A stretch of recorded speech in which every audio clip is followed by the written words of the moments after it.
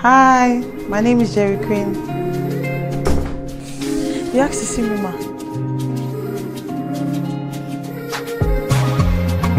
Check you right. On peut aller manger, danser. Where is Victor?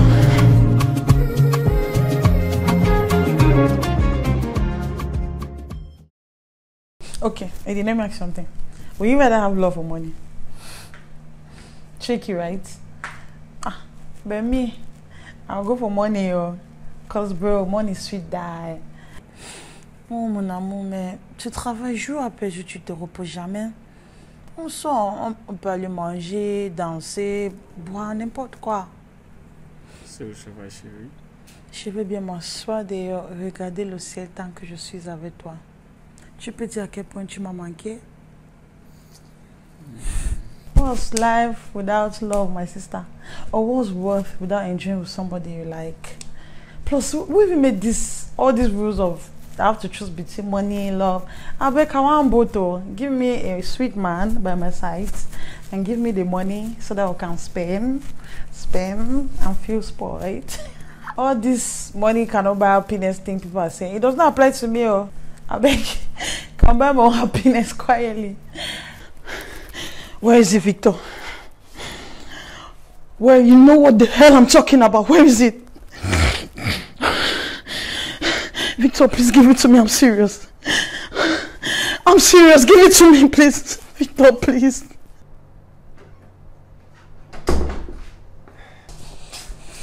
You asked to see me, ma. Yes, I did. What was the foolishness you put in the meeting today? Ma, I, I was just trying to, to share some ideas that I thought would increase the, the client's revenue. Funny.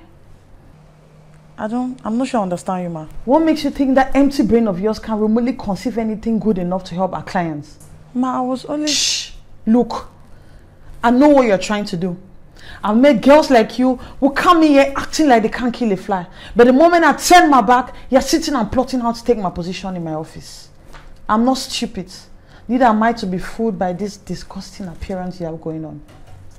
In fact, one more word or sentence I do not initially approve comes out of your mouth during our meetings, you will be dealt with. I will break your wings before you think of flying. Have I made myself clear? Yes, ma'am. Get out. There are no bathrooms for me here. What do you mean there are no bathrooms for you here? There is no bathroom for me. There is no color bathroom for me in this building or any building outside the West Campus. Did you know that, Mr. Harrison? I have to walk half a mile down to Yaba so I can relieve myself. Picture that, Mr. Harrison. Every time I close my eyes, this is face that I see. In my dreams, I still feel him hitting me, choking me. So I wake up gasping for air. Sometimes I can't even breathe.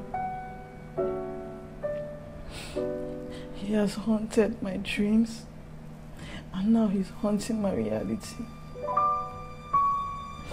He was right. I'll never be able to get rid of him. Never.